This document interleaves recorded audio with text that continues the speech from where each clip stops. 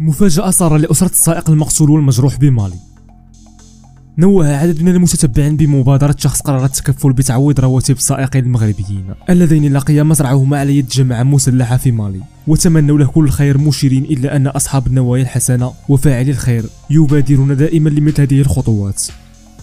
وكشفت إحدى الناشطات بجهة سوس مسا نقلا عن رئيس نقابة للنقل الطرق التابع للاتحاد المغربي للشغل أحمد بلغازي أن الشخص الذي اتصل به أكد له تكفله بأجور السائقين المغربيين عبر تعويض شهري يقدر ب 4000 درهم شهريا لكل أسرة من أسرتي الضحيتين مدى الحياة.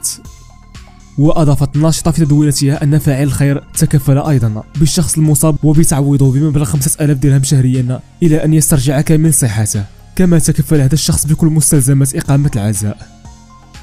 نشكركم على حسن المتابعة.